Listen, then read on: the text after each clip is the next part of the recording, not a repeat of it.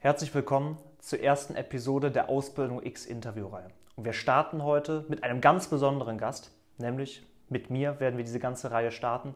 Und zwar werde ich heute was zum äh, Ausbildungsberuf des Industriekaufmanns erzählen. Und dann äh, werden wir im Weiteren dann mit noch kommenden Gästen über andere Ausbildungsberufe sprechen und somit dann diese Interviewreihe gestalten. Also freut euch auf das heutige Interview.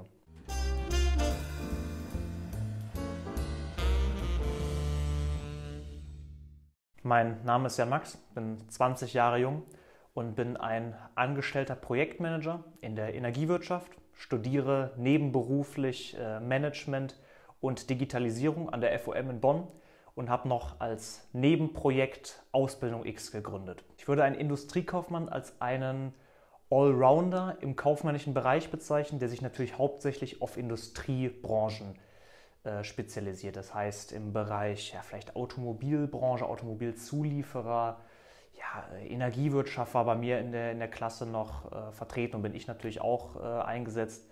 Ansonsten gibt's, ist der Industriekaufmann eigentlich in jeder Branche ein, ein, sehr, ein sehr gefragtes Berufsbild. Deswegen jemand, der sich in den Bereichen kaufmännischen Vertrieb, Personalmanagement, also alles entlang der Wertschöpfungskette sehr gut auskennt und da auch einsetzbar ist. Ich glaube, der Alltag eines Industriekaufmanns auszubilden ist sehr stark abhängig davon, wo man gerade eingesetzt ist. Denn in der Ausbildung war es zumindest bei mir so, dass man ja, in ganz vielen verschiedenen Abteilungen eingesetzt wird. Dann war es so, dass mein ja, üblicher Tag eigentlich so um 7.30 Uhr, bei mir vielleicht auch mal 10, 15 Minuten später, äh, losgegangen ist, dass ich ins Büro gegangen bin. Also üblicherweise glaube ich, dass man als Industriekaufmann doch recht viel Zeit am, am Schreibtisch vom, vom Computer verbringt. Natürlich auch in Meetingräumen ist er mittlerweile in Online-Calls äh, Telefonate verwickelt ist. Und das kommt halt immer sehr stark darauf an, ist man gerade im Personalmanagement eingesetzt, ist man im Kundenservice, im Vertrieb. Und danach variiert das eben sehr stark. Aber ich glaube, es ist ein sehr, sehr geregelter Tagesablauf. Meistens so 7.30 Uhr, 8 Uhr bis 16, 16.30 Uhr, vielleicht 17 Uhr, wo man eben viel Zeit am Schreibtisch verbringt, Meetings hält und so weiter. Ansonsten, was natürlich neben der Arbeit noch dazu kommt, ist äh, Punkte Berufsschule. War bei mir im, im Wochensystem, also jede zweite Woche hatte ich zweimal Berufsschule und in den Zwischenräumen hatte ich einmal Berufsschule pro Woche. Und das kann man sich eigentlich wie eine ganz normale Schule vorstellen, wo man feste Unterrichtsstunden hat, wo man dann eben vor Ort ist und dann eben den verschiedenen Fächern nachgeht, die einem da eben zugeordnet werden. Ich glaube, es war weniger der Beruf, der mich äh, fasziniert hat, sondern mehr das Unternehmen. Ich hatte ehrlicherweise, als ich mit der Schule fertig war, jetzt nicht so viel Ahnung davon, äh, weder vom Unternehmen noch von der Ausbildung noch von dem Beruf. Hatte ich von allem nicht besonders viel Ahnung, aber ich hatte halt relativ viele Bekannte, die in dem Unternehmen, wo ich jetzt auch immer noch arbeite, beschäftigt waren und davon habe ich halt sehr, sehr viel Positives gehört und ich hatte einen sehr, sehr guten Eindruck davon. Deswegen habe ich mich halt dazu entschieden, mich da auf eine Ausbildungsstelle zu bewerben und da kam eben für mich, weil ich immer schon recht viel wirtschaftliches Interesse hatte, äh, nur die Industriekaufmann-Ausbildung in Frage. Ja, und deswegen habe ich da mich äh, dann beworben. Nach der Schule hatte ich erstmal ja, so ein bisschen die Schnauze voll vom reinen Zuhören und Wissen konsumieren. Deswegen kam für mich ein Vollzeitstudium nicht in Frage. Also vielleicht als Background, ich habe ein normales Abitur gemacht. Ähm, deswegen wäre ein Studium auch möglich gewesen. Aber ich hatte Lust, eigene Verantwortung zu übernehmen und selbst Aufgaben nachzugehen, selbst wirklich mal was zu tun, anstatt nur, ich will das gar nicht abwerten, aber erstmal nur in der Vorlesung zu sitzen und Wissen zu konsumieren. Deswegen war es für mich einfach ein schönes Modell, dass ich auf der Arbeit mitwirken könnte, wirklich da auch was Handfestes lernen kann, gleichzeitig trotzdem Wissen konsumiert habe aus der Berufsschule. War einfach ein sehr, sehr schönes Modell, was ich im Nachhinein auch auf gar keinen Fall bereue. Ja, ich glaube, das, was ich gerade schon gesagt habe, das ist so ein bisschen die Kombination aus, ich wollte endlich mal Verantwortung übernehmen. Ich habe das auch einfach als große Chance für mich gesehen, mich persönlich weiterzuentwickeln, ähm, dass ich Interessen wecke, die vielleicht vorher noch nicht so gegeben waren. Und ich bin froh, dass ich jetzt im Nachhinein sagen kann, dass das auch so aufgegangen ist und eigentlich sogar meine Erwartungen, muss ich ehrlicherweise sagen, noch übertroffen hat. Ja, also an Hard Skills. Ähm, ich glaube, das Mindestmaß für eine Industriekaufmann-Ausbildung ist ein Realschulabschluss, wobei nach meinem Eindruck, was ich jetzt in der Berufsschule und so auch an Kollegen äh, bekommen hatte, hatten die meisten schon ja, mindestens ein Fachabi. Ich glaube, höherer Handelsschulabschluss ist auch Regelfall oder ein Abitur. Also ich glaube, das ist jetzt nicht entscheidend darüber, äh, wie du da äh, performst. Ich glaube, dass du darüber hinaus sehr ja, kontaktfreudig sein solltest, dass du gut im Team arbeiten kannst, dass du Spaß hast auch an viel ja, typischer Schreibtischarbeit, dass du es magst, dich zu organisieren, dass du dich auch wirklich gut organisieren kannst und vor allem auch sehr zuverlässig bist. Und wenn du die Ausbildung wirklich gut machen willst, würde ich dir einfach empfehlen, sei sehr wissbegierig, eifrig und versuch einfach wirklich das Beste aus diesen Jahren zu machen, weil du wirklich viel rausholen kannst. Und ich habe das Gefühl, dass das häufig leider unterschätzt wird. Ich würde die Ausbildung jedem empfehlen, der ein grundsätzliches Interesse in puncto Wirtschaft hat, der sich langfristig da auch sieht, der sich auch nicht, ähm, der nicht abgeneigt ist, auch noch Weiterbildung, wie jetzt zum Beispiel ich mit einem Studium oder anderen Fortbildungen zu machen.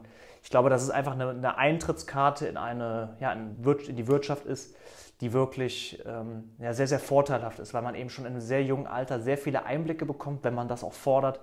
Und ich würde es einfach jedem empfehlen, der sich, sich und andere gerne organisiert, der gerne im Team arbeitet, auch gerne eigene Interessen im Unternehmen voranbringt. Das würde ich, dem würde ich äh, eine Industriekaufmann-Ausbildung empfehlen. Ich habe ja schon häufig gesagt, dass ich in der Energiewirtschaft arbeite. Das ist bei dem Unternehmen Eregio GmbH und Co. KG mit Sitz in Euskirchen und Kall. Wer die Orte jetzt nicht vielleicht direkt kennt, das ist in Nordrhein-Westfalen, nicht so weit weg von, von Köln. Ähm, ja, ich äh, hatte da jetzt zweieinhalb Jahre lang meine Ausbildung zum Industriekaufmann, war wirklich eine, eine sehr, sehr schöne Zeit, ähm, wo ich auch sehr, sehr zufrieden und auch dankbar bin an die ganzen Kollegen und vor allem an das Unternehmen. Deswegen, äh, ich bin auch nach wie vor da eingesetzt und äh, ja, habe auch erstmal vor, da weiter zu arbeiten, weil mir das da alles mit den Kollegen sehr, sehr viel Spaß macht. Genau, und äh, andere mögliche Arbeitgeber, ich habe es eben schon mal gesagt, ich glaube, die Industriekaufleute sind wirklich überall einsatzfähig. Also ich habe da mal grob mal so recherchiert, auch als ich mich beworben hatte, was es noch für Möglichkeiten gibt. Das geht wirklich von kleinen Unternehmen bis zu Mittelständlern, bis zu relativ großen, wie jetzt bei mir, wir sind ja so etwas über 400 Mitarbeiter, was jetzt auch nicht mehr gerade klein ist, bis hin zu den größten Konzernen, Daimler AG, Volkswagen, Bayer, habe ich auch mal geguckt, die bieten auch äh, Ausbildungsplätze für Industriekaufleute an.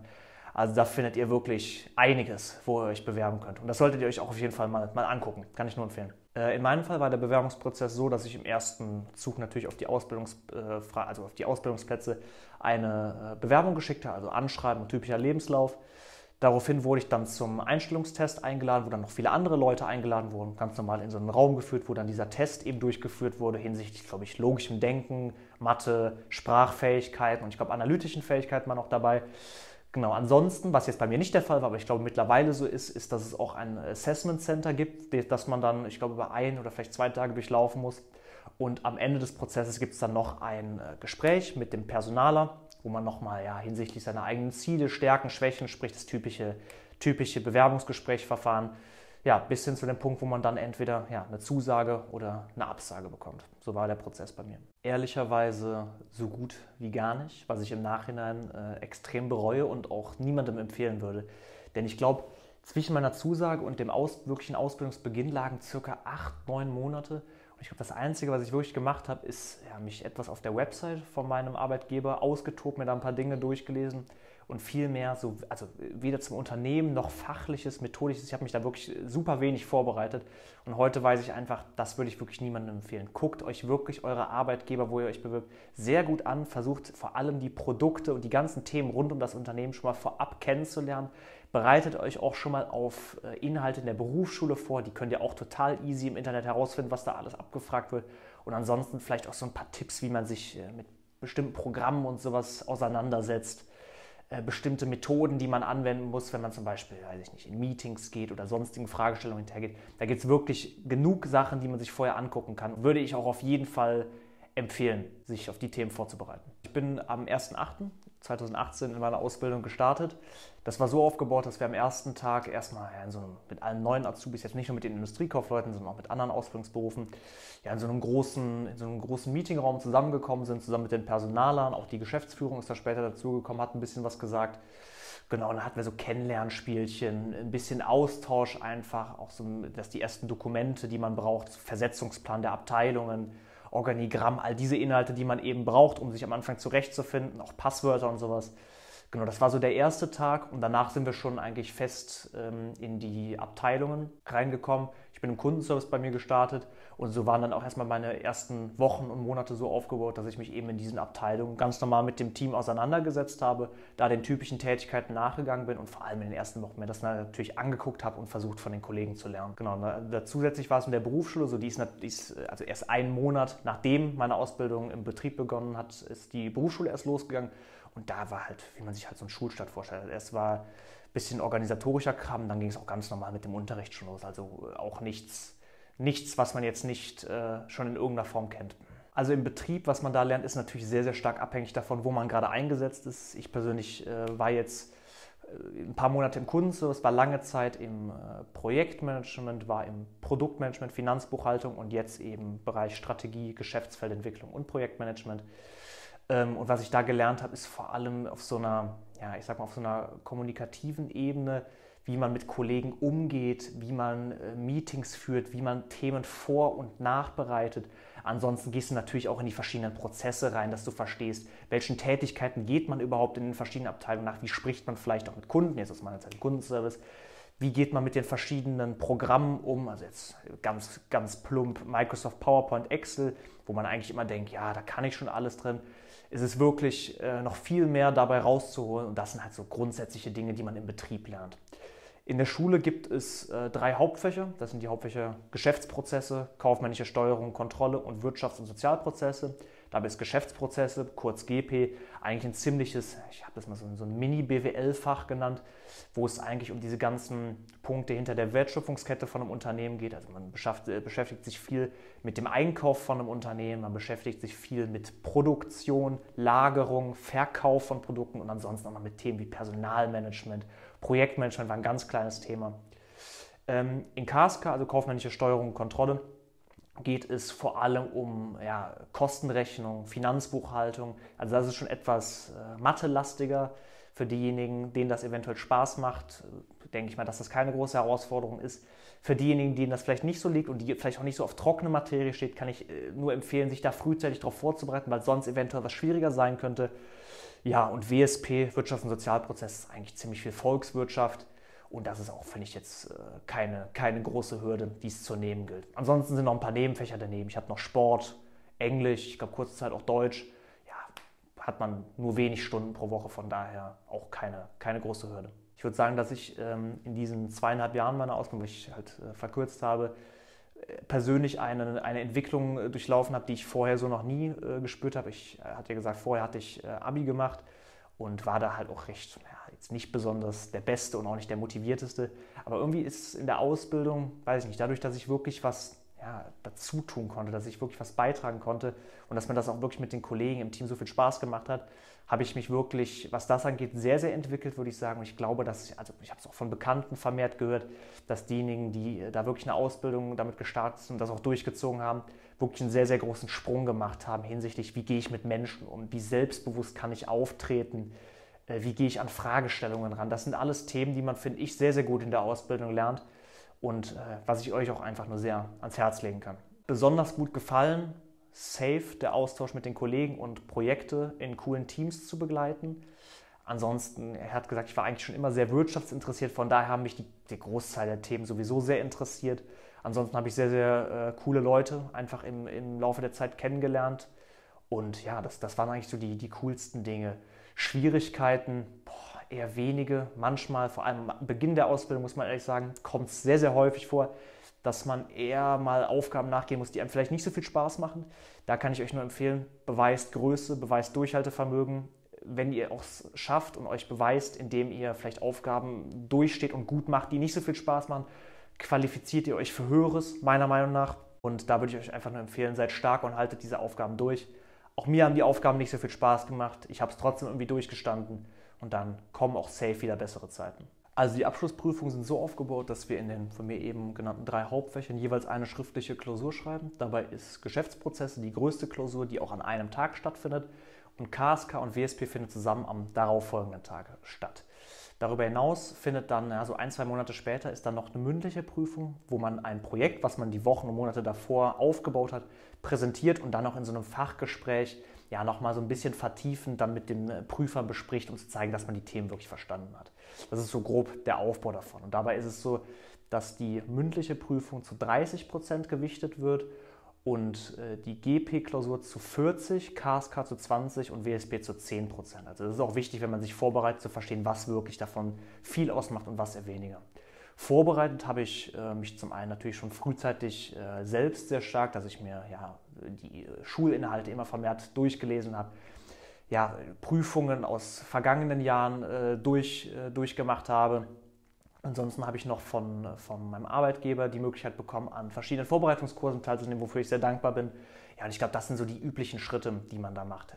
Darüber hinaus, was vielleicht noch interessant ist, ist, dass ich mir vor den Klausuren äh, selbst äh, zwei Wochen freigenommen habe, wo ich mich wirklich sehr, sehr fokussiert und sehr, sehr engagiert auf die äh, Klausuren vorbereitet habe und bin natürlich froh, dass sich das auch dann in meinen Noten wiedergespiegelt hat und ich da entsprechend ja, meine Rendite rausziehen konnte. Ich glaube, nach einer sehr, sehr guten Berufsausbildung ist es immer, oder wenn man sich auch da bewährt hat, ist es häufig oder fast immer der Fall, dass man auch einen Arbeitsvertrag danach von seinem Arbeitgeber bekommt. Natürlich, wenn es ja wirtschaftliche Probleme gibt, was anderes. Aber wenn man sich behauptet hat, wenn man sowohl schulisch als auch im Betrieb gezeigt hat, dass man einen Mehrwert bringt, dass man engagiert dabei ist und bereit ist, sich weiterzuentwickeln, hat man fast immer die Möglichkeit, da danach auch fest einzusteigen. Ich glaube, äh, wenn man es schafft, sich da weiterhin zu beweisen, weiter aufzubauen, sich auch weiterzubilden, egal ob mit einem nebenberuflichen Studium oder sonstigen Weiterbildungsmöglichkeiten, hilft einem das nur noch weiter in der, in der Karriereleiter. Deswegen, ich kann euch nur empfehlen, bildet euch danach weiter, bleibt nicht nach der Ausbildung einfach stehen, sondern überlegt, wie könnt ihr noch mehr euch das rausholen. Und ob ihr das dann berufsbegleitend macht, ob ihr das in so einem Werkstudentenmodell macht, könnt ihr euch selbst aussuchen, aber ich würde euch schon empfehlen, euch, euch weiterzubilden. Ja, es kommt immer so ein bisschen darauf an, was für eine Ausbildung du gemacht hast. Ne? Jetzt als Industriekaufmann war ein berufsbegleitender Bachelor sehr naheliegend. Das kann man in unterschiedlichsten Bereichen machen, jetzt auch unterschiedlichsten Unis, egal ob man das jetzt per Fernstudium, Präsenzuni macht. Ich habe mich jetzt für die FOM als äh, Präsenzuni entschieden und die bieten unterschiedlichste Fächer an. Da waren typisch normales Standard-BWL, Wirtschaftspsychologie, ich glaube noch äh, digitales Marketing war noch ein Punkt. Aber ich habe mich dann für Management und Digitalisierung entschieden auf den äh, akademischen Grad Bachelor of Arts. Ähm, ja, und das ist eigentlich auch zum Großteil einfach ein BWL-Studiengang mit dem ersten Schwerpunkt auf digitalen Themen eben gesetzt, weil mich das grundsätzlich sehr interessiert. Ansonsten gibt es natürlich noch Weiterbildungsmöglichkeiten, wie zum Beispiel einen Ausbilderschein, den man machen kann oder an anderen Workshops teilnehmen. Das gibt es auch. Aber als große Möglichkeit, und das, was auch die meisten machen, was ich auch empfehlen würde, ist, dass ihr noch einen Bachelor nebenbei baut. Ja, also ich äh, bin gerade dabei, meinen berufsbegleitenden Bachelor zu machen. Bin jetzt auch gerade erst im ersten Semester, also kann ich noch nicht von so vielen Erfahrungswerten sprechen. Aber es macht bis jetzt auf jeden Fall sehr, sehr viel Spaß, auch wenn alles per Online-Vorlesung noch stattfindet. Ich freue mich sehr, wenn wir da wieder vor Ort oder wenn wir das erste Mal dann vor Ort in Bonn sind. Darüber hinaus spiele ich noch mit dem Gedanken, einen Ausbilderschein zu machen, worauf ich sehr viel Lust hätte. Allerdings ist es momentan einfach so, dadurch, dass ich halt äh, abends Vorlesungen habe, über Tag arbeiten muss, am Wochenende den Ausbildung X-Themen nachgehe, dass ich aktuell leider keine Zeit dafür finde, den Ausbilderschein anzugehen, aber ich bin mir sicher, dass ich das noch in den kommenden Jahren machen werde. Was noch äh, zusätzlich äh, noch ein Punkt war an Weiterbildung, aber in meiner Ausbildung war das äh, Cambridge-Zertifikat. Das wurde uns vom Englischunterricht her angeboten, dass wir ein äh, ja, Zertifikat vom, äh, ich glaube, Englischen Institut von Köln oder sowas hieß es, ein Cambridge-Zertifikat ablegen, um eben zu bescheinigen, dass wir einen gewissen Grad an äh, Business-Englisch-Kontext eben vorweisen können. Und das war eine Möglichkeit, da eben nochmal so eine Prüfung abzulegen. Kann ich auch nur empfehlen, war jetzt auch nicht so, so toll. Also die Gehaltsaussichten in der Ausbildung, ich äh, habe auch mal so recherchiert, wie es in anderen Berufen aussieht, sind schon sehr, sehr gut bei einem Industriekaufmann. Da spricht man im Schnitt so von etwa ja, so 1100 Euro. Man muss dazu sagen, man startet im ersten Ausbildungsjahr äh, ja, so bei circa, ich glaube, 900, etwas über 900, steigt dann im zweiten auf so 1050 und im dritten ist es noch, äh, ich glaube, schon, sogar schon über 1100, also im Schnitt irgendwas zwischen 1000 und 1100. Zusätzlich kommen natürlich, das ist auch jetzt nicht für jeden Betrieb äh, beschlossen, aber häufig so, dass es noch äh, Weihnachtsgeld gibt, vielleicht auch bei manchen Urlaubsgeld. Äh, zusätzlich gibt es auch äh, die Möglichkeit, dass man für besonders gute Noten oder für einen guten Abschluss nochmal Zulagen oder sowas bekommt. Also ich würde sagen, da spricht man so im Schnitt von 1100 Euro im Monat, vielleicht sogar teilweise 1200. Kommt natürlich auch immer auf das Unternehmen an, wo man eingesetzt ist, aber das ist in der Ausbildung schon gut möglich. Bei Übernahme ist es so, ich meine, da kommt es natürlich auch immer auf die Tariftabellen an oder ob man überhaupt nach Tarif bezahlt wird. Ähm, aber ich glaube, da kann man schon mit guten 3000 brutto kann man schon einsteigen nach der Ausbildung. Perspektivisch, wenn wir jetzt so vielleicht über fünf bis sieben Jahre oder sowas sprechen, ich weiß es auch nicht genau und es ist natürlich jetzt auch kein, äh, nicht in Stein gemeißelt, dass man so viel verdient. Es kommt natürlich darauf an, wie performt man? Bildet man sich weiter? Hat man zusätzliche Abschlüsse? Wie ist man generell im Unternehmen angesehen? Hat man vielleicht schon Führungsverantwortung? Ich glaube aber, dass man im Schnitt schon davon ausgehen kann, dass man so irgendwo bei um die fünf brutto irgendwo so landet mit allen Zulagen und sowas vielleicht noch dazukommt, ist glaube ich so fünf, fünfeinhalb brutto absolut drin. Ansonsten, falls ihr äh, da genauere Infos zu haben wollt, es gibt genug Möglichkeiten, wo man im Internet mal recherchieren kann, egal ob das, ich glaube, Glassdoor, Stepstone oder so ist. Da gibt es wirklich viele Möglichkeiten, auch von, direkt von dem Unternehmen, wo ihr besonders viel Interesse daran habt, mal nachzugucken, wie viel man da ungefähr verdient. Das ist jetzt kein besonders gehütetes Geheimnis, das kann man ganz einfach nachgucken. Ich würde dieser Person mitgeben, versuch alles rauszuholen, was in dieser Ausbildung möglich ist. Versuch dich für alle Themen, die dir angeboten werden, zu interessieren und zeig das auch klar den Personen an, die dafür verantwortlich sind. Zeig an, dass du in möglichst vielen Projekten eingesetzt werden willst. Zeig an, in welcher Abteilung du willst. Sei neugierig, was die Themen angeht und sei engagiert. Und lass dich auch nicht kleinreden, nur weil du ein Azubi bist und deswegen, weiß ich nicht, scheinbar weniger wert bist oder sowas. Lass dich gar nicht mit sowas erst bequatschen, sondern geh deinen Weg und versuch einen Mehrwert für das Unternehmen zu stiften. Ich glaube, wenn du diesen Punkten so nachgehst, kannst du wirklich extrem viel rausholen und sei einfach selbstbewusst. Sei selbstbewusst, engagiert, versuch das Beste rauszuholen. Das würde ich der Person mitgeben. Einen wirklich guten Auszubildenden macht für mich aus, erstmal sehr wissbegierig zu sein, ansonsten auch sehr engagiert zu sein, also sich auch mal vor Überstunden oder mehr Aufwand oder zusätzlichen Aufwand in anderen Themen oder Projekten, dass er sich davor nicht irgendwie zurückhält oder dass er äh, das einfach nicht aufwenden möchte. Für mich macht wirklich einen guten Azubi aus, wenn er wirklich Bock hat, sich zu engagieren und seine eigenen Themen im Unternehmen voranzubringen und sich wirklich mal zu überlegen, was bringt das Unternehmen voran? Also nicht nur in seiner kleinen Welt zu leben und zu sagen, okay, das ist jetzt für mich wichtig, sondern stell dir mal wirklich vor, also jemand, der sich wirklich vorstellt, dass er verantwortlich ist für das Unternehmen und was jetzt für das Unternehmen das Beste ist. Ich glaube, wenn man diesen Gedanken, dieses Mindset verinnerlicht hat als Azubi, ist das schon sehr, sehr viel wert. Was mir auch noch besonders wichtig ist bei äh, Azubis, aber vielleicht auch nicht nur bei Azubis, sondern generell, ist, wenn man eine, also ich sage, ich nenne das häufig so ein Gewinnertyp ist. Das heißt, dass du nicht jemand bist, der nur große Reden schwingt und nichts tut, sondern sei wirklich jemand, der Taten sprechen lässt. Und halte dich im Zweifelsfall vielleicht mit großen Worten etwas mehr zurück, es sei denn, du bist auch bereit, diese großen Worte entsprechend in die Tat umzusetzen, weil ich glaube, so große Schwätzer mag nicht äh, jeder unbedingt. Deswegen versuch ein Gewinnertyp zu sein und versuch mit dieser Mentalität auch zu leben. Äh, kontaktieren kann man mich ganz einfach über LinkedIn, äh, unter Jan Max van Bonn auf LinkedIn. Kann man mich immer gerne anschreiben, wenn man da irgendwelche Fragen hat zur Ausbildung X oder sonstigen Themenstellungen, kann man mich sehr, sehr gerne anschreiben. Ich versuche da auf alles zu antworten. Ansonsten, äh, jetzt vielleicht neben mir als Privatperson, können dann natürlich auch auf alle Ausbildung X-Kanäle gehen, YouTube, Instagram, auch auf LinkedIn haben wir eine Ausbildung X-Seite. Ansonsten auch gerne auf die Website www.ausbildungx.com. Kann man uns gerne anschreiben und da gehen wir natürlich auch auf eure Fragestellungen ein. So, ich hoffe jetzt erstmal, dass euch der Inhalt des Interviews gefallen hat. Auch generell, wie wir diese Interviewreihe jetzt hier aufgebaut haben. Schreibt gerne mal in die Kommentare, wie ihr den Aufbau und jetzt die erste Episode fandet. Würde mich besonders interessieren, damit wir auch diese ja, neuen Impulse mit in die kommenden Episoden einfließen lassen können. Ja, ansonsten, ich hoffe wirklich, dass euch äh, das Interview gefallen hat. Wenn ja, lasst ein Like für das Video da, abonniert den Kanal und ansonsten sehen wir uns wieder bei der nächsten Episode von Ausbildung X, deinem Ausbildungspartner.